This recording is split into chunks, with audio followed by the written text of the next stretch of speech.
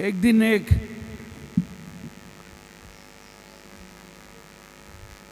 एक बहन जी मेरे पास आके कहा दे, देखो मेरा बेटी उन, उन्होंने कहा उनका बेटी को जो सोने के समय पर वो बेड में पेशाब करती है।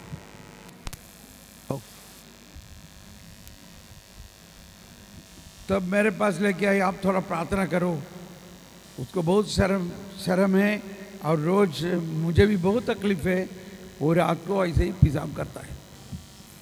तो मैंने बोला, देखो, मैं तो प्रार्थना करेगा, लेकिन पहले आप अभी तब क्या किया उसके लिए? कुछ किया क्या? यहाँ लिखा है, विश्वासियों को ये चमत्कार होगा, वो रोगियों पर हाथ लगाने से चंगाई होगा।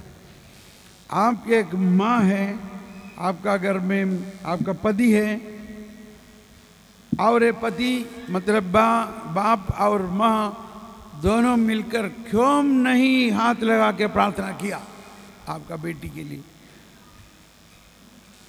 ओ, हम लोग करने से नहीं होता है। इसको बोलता है कि यही हमारा बीमारी है सबसे बड़ा। हमारा विश्वास का हमारे अंदर जितना वरदान प्रभु दिया है, ये मालूम नहीं होता है। इसीलिए हम लोग कुछ प्रभु के लिए काम कर नहीं सकता है। तो मैंने उनसे प्रेम से कहा, तुम प्रार्थना करो और एक दिन नहीं, कुछ दिन करो। एक हफ़्ता रोज आप प्रार्थना करो। और प्रभु ने ये भी लिखा है, हो मेरे सामने ही खड़े। कम से कम अगर एक दो व्यक्ति जो कुछ भी एक मन होते हुए प्रार्थना करेगा तो मेरा स्वर्गीय पिता ज़रूर सुनेगा। मत्ती का सुसमाचार अठारह उन्नीस अठारह उन्नीस, अठारह में उन्नीस लिखा है। अगर दो व्यक्ति एक मत होते हुए प्रार्थना करेगा तो ज़रूर होगा। और वो एक हफ़्ता प्रार्थना करने के बाद मुझसे मिला, मिलते हँसते हँसते आने लगा। तब तो मुझे समझ में आया, काम हो गया करके, है ना? अब ये सोचो, हम लोग जो माँ बाप है, हम लोग जो माँ बाप के द्वारा प्रभु ने बच्चों को सृष्टि किया, है कि नहीं? तब प्रभु हमको इतना बड़ा वरदान दिया है। प्रभु इस प्रभु हमारे द्वारा उनको बच्चा को सृष्टि किया। तो तो हम प्रभु के साथ बहुत निकट है।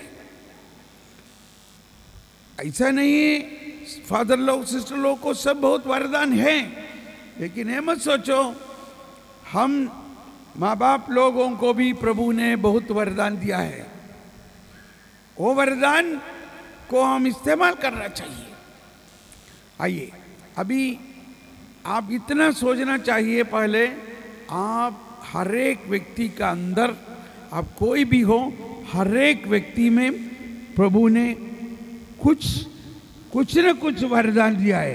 कोरिंथियों का नाम पहला पत्र, अध्याय बारह अध्याय बारह में सातवां वज़न ये लिखा है, वह प्रत्येक को वह प्रत्येक को वरदान देता है।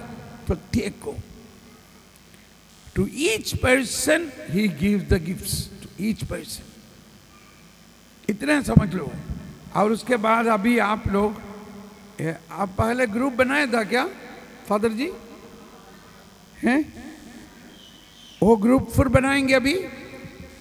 अभी हम लोग ऐसा करेगा, वही ग्रुप में आप आएँगे और वो ग्रुप में क्या करेगा कि कितना लोग था एक ग्रुप में? पाँच से ऊपर था? है? तो एक आदमी बैठेगा, नहीं तो कुटनी टेकेगा। बाकी लोग उसके लिए ये प्रार्थना करेगा, उसके अंदर जो भी वरदान है, वो बाहर आने के लिए। और प्रार्थना करते वक्त जो प्रार्थना करने वाला लोग, प्रभु से ये मांगिए, है प्रभु इनके अंदर क्या वरदान है? तो शायद आप लोगों को ऊपर भी, आपका अंदर भी वरदान वरदान काम करने चालू होगा। जैसे कि आप में किसी को ऐसा लगेगा कि कमर में दर्द हो रहा है। अभी एक आदमी के लिए प्रार्थना करते वक्त आपको, जो प्रार्थना करने वालों को लगा कमर में दर्द तो आप क्या करेगा? आप उससे पूछेगा, क्या आपको कमर में दर्द है? हाँ हाँ मुझे दर्द मतलब वो उनका कमर का दर्द आपका अनुभव होता है, वो एक वरदान है। ताकि आप उसके लिए प्रार्थना कर सकता है। तो आपको जिसको वो दर्द मालूम पड़ रहा है, वो एक दर्शन जैसा एक दूसरा वरदान है, उसका अंदर जो बीमारी को हमें समझाने के लिए, ताकि हम उसके लिए प्रार्थना करें वो चंगाई होगा। तो जिसको दर्द मालूम पड़ा उसको प्रभु ने चुना है, तुम उसके लिए प्रार्थना करो। तब बाकी सब मिलके उनका कमर का दर्द के लिए प्रार्थना करो, वो दर्द दूर हो जाएगा। आपका सामने मालूम पड़ेगा। और प्रार्थना करते वक्त उनका बचपन का कुछ कुछ कहानी, नहीं तो कुछ चीज़ मालूम पड़ेगा। समझो कि वो साइकिल चला रहा था और सड़क पर गिर गया और वो कुछ पानी पर गिर गया। वो दर्शन में आएगा। एक लड़का साइकिल में जा रहे हैं और सड़क के किनारे गिर गया और पानी पर गिर गया। आप पूछो, देखो आपको ऐसा हुआ क्या? हाँ मैं उसके बाद बहुत डर गया, उसके बाद अभी मैं साइकिल चलाता ही नहीं है। अच्छा तो क्यों चलाता नहीं? वो डर का बारे। तो अभी क्या होगा? हे प्रभु, इनका अंदर उसी दिन बहुत साल का पहले वो साइकिल से गिरा और उसका अंदर जो डर है, उसको उसको चंगाई कीजिए तो वो डर दूर हो जाएगा। ऐसा करते करते हम, ये जो हम प्रार्थना करते वक्त पवित्र आत्मा आपका, आपको बहुत वरदान दिखाएगा। आइए, अभी आप वो ग्रुप में चले आइए। सब लोग ग्रुप में जाइए, ग्रुप में जाइए और मैं यहाँ से बताएँगे वो ग्रुप में क्या करना है। चाहिए फिर ग्रुप ग्रुप बनाई, कुर्सी लेके जाओ।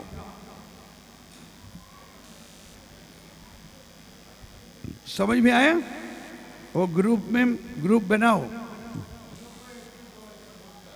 है? है? हाँ ठीक है वो जो बारह ग्रुप बनाया, वो ग्रुप में फिर वापस आ जाओ